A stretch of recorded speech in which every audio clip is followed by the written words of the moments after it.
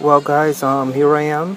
I am three days out from um, my um, Garden State um, NPC um, championship. Um, here's my front pose. Um, here's my side. Um, I actually um, bulked up a lot um, this time. I actually hit the um, the most I actually hit before was 188. I'm actually currently now in this video about 170. Um, I'm most likely to cut down to about maybe 165. So um, I look great.